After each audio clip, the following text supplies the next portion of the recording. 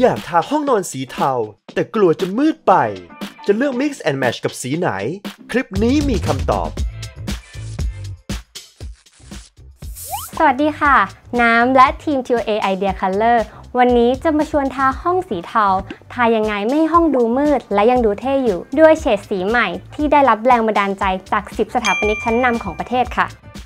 และก่อนจะทาสีห้องจริงนะคะ เราได้ให้ทางทีม Idea Color นะคะ ช่วยจำลองสีนะคะ จากโปรแกรม Idea Color ก่อนที่จะทาสีจริงค่ะโดยห้องนี้นะคะน้ำจะเลือกแบบ True Tone ค่ะ เริ่มต้นด้วยเฉดสีเทานะคะ TOA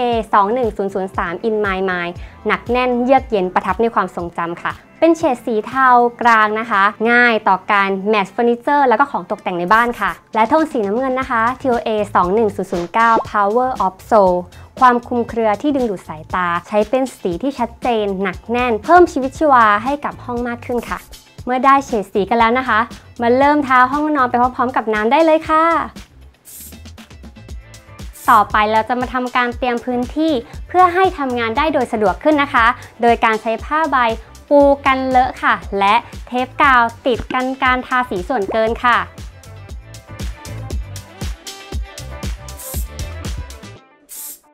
ก่อนทาต้องทำความสะอาดพื้นผิวให้สะอาด หากมีรอยแตกร้าวควรอุดโป๊ให้เรียบร้อยค่ะ และตอนนี้นะคะน้ำเตรียมพื้นที่เรียบร้อยแล้วค่ะ มาเริ่มทากันที่ขั้นตอนแรกกันเลยนะคะ ก่อนอื่นต้องขอบอกก่อนเลยว่า การที่จะทำให้ห้องนั้นสวยงามและทนทาน ต้องเลือกใช้สีรองพื้นค่ะ และน้ำนะคะ เลือกใช้สีรองพื้นอเนกประสงค์ TOA Hydro Quick สูตรน้ำกลิ่นอ่อนทนความชื้น สามารถใช้ได้ทั้งพื้นผิวปูนสดปูนใหม่และปูนเก่าค่ะ ขั้นตอนที่ 2 นะคะ การทาสีทับหน้าสำหรับสีทาภายใน น้ำเลือกใช้สีซูเปอร์ชิลดูลาคีน A+ ที่มีกลิ่นอ่อน ทาเสร็จปุ๊บสามารถอยู่ได้ปั๊บเลยค่ะ และที่สำคัญนะคะ สามารถกำจัดเชื้อไวรัสได้ถึง 99.9%และมี Air Detoxify ช่วยฟอกอากาศภายในให้บริสุทธิ์ เช็ดล้างได้ และได้รับมาตรฐานระดับสากลชั้นนำอีกด้วย เริ่มที่ผนังหัวเตียงสีน้ำเงินกันก่อนเลยนะคะ โดยก่อนทาสีต้องผสมน้ำ 10%แล้วคนให้เข้ากัน เทคนิคในการทาควรทาจากมุมด้านบนมุมใดมุมหนึ่ง เป็นแนวตรงลงมาค่ะ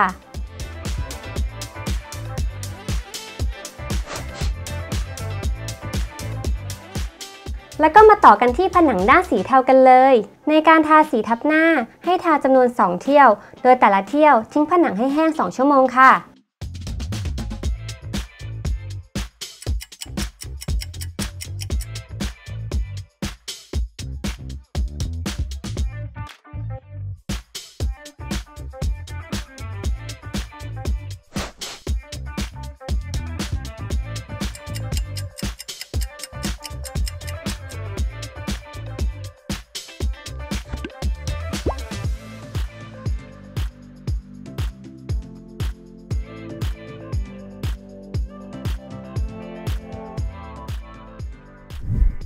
เสร็จแล้วค่ะสำหรับการปรับลุคห้องนอนสีเทายังไง ไม่ให้ดูมืดจนเกินไป และยิ่งตัดด้วยโทนสีเข้มอย่างสีน้ำเงิน เพิ่มมิติให้กับห้องมากยิ่งขึ้นด้วยค่ะ ถ้าต้องการเปลี่ยนสีห้องหรือสีบ้าน แต่ไม่รู้ว่าจะเลือกสีโทนไหน ส่งภาพมาให้ทีม Idea Color ตามลิงก์นี้เลยนะคะและสำหรับคลิปต่อไป หากต้องการให้ทางทีม Idea Color ออกแบบสีห้องโทนไหน คอมเมนต์กันมาได้เลยค่ะ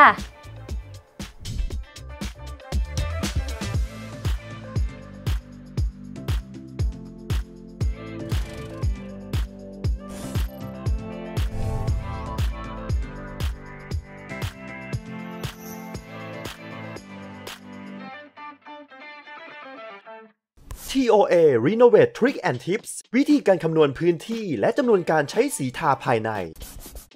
การคำนวณพื้นที่โดยรวมทั้งห้อง ให้หาความกว้างคูณความสูงของแต่ละผนัง แบบไม่ต้องหักลบหน้าต่าง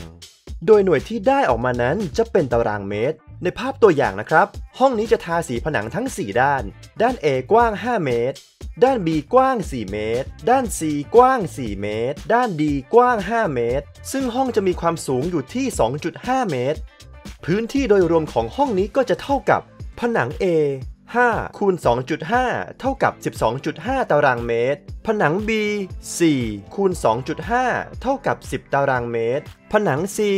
4คูณ2.5 เท่ากับ 10 ตารางเมตร ผนัง D 5คูณ2.5 เท่ากับ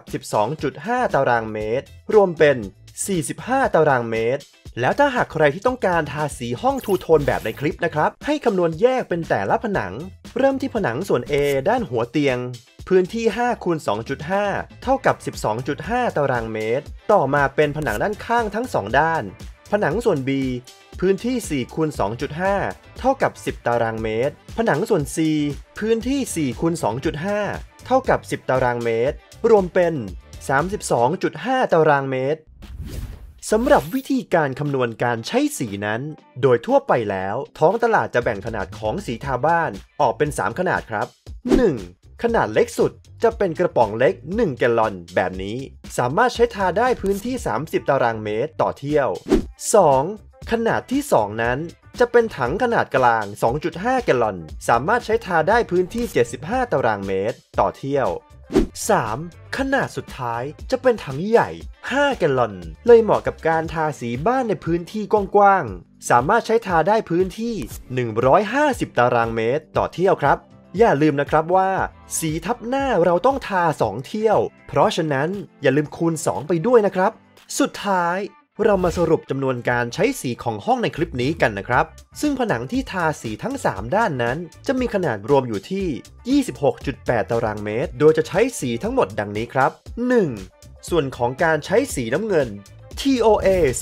21009 Power of Soul ซึ่งเป็นสีของผนังหัวเตียง มีขนาดอยู่ที่ 7.84 ตารางเมตร ใช้สี Super Shield Dura Clean A+ กระป๋องเล็ก 1 แกลลอน ไปแค่ 1 กระป๋องเท่านั้นครับ 2. ผนังด้านข้างทั้ง 2 ด้านที่เป็นสีเทา TOA 21003 In My Mind นั้น มีขนาดด้านละ 9.52 ตารางเมตร ใช้สี Super Shield Dura Clean A+ กระป๋องเล็ก 1 แกลลอน ไปทั้งหมด 2 กระป๋อง เฉลี่ยเพียงแค่ด้านละ 1 กระป๋องครับ 3. และที่ขาดไม่ได้เลยก็คือ สีรองพื้น TOA Hydro Quick Primer กับทุกผนังก็ใช้ไปแค่1แกลลอนเท่านั้นเองครับ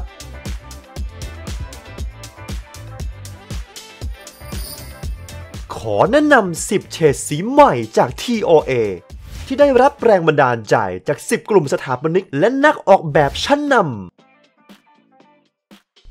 TOA 21001 Spectacular White สีขาวที่สะท้อนทุกเฉดสี เปลี่ยนแปลงตามเวลาและอุณหภูมิแสง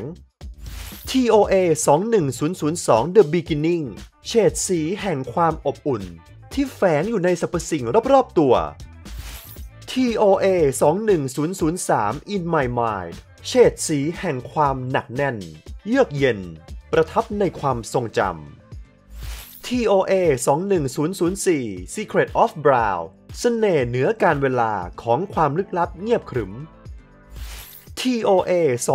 21005 Back into Space ดูดซับทุกสี แต่ขับเน้นทุกรายละเอียด TOA 21006 Reappropriate Green สีแห่งการทดลองเพื่อความเปลี่ยนแปลงที่สดใหม่ TOA 21007 Waken Heart เฉดสีที่เปลี่ยมไปด้วยความเชื่อมั่น และพลังในการจูงใจ TOA 21008 Optimistic Blue ปรากฏการสีกับช่วงเวลาของแสง TOA 21009 Power of Soul ความคลุมเครือของเฉดสีที่ดึงดูดทุกสายตา และ TOA 21010 Dramatic Green สีเขียวที่จุดประกายความหวัง เปี่ยมไปด้วยพลังบวก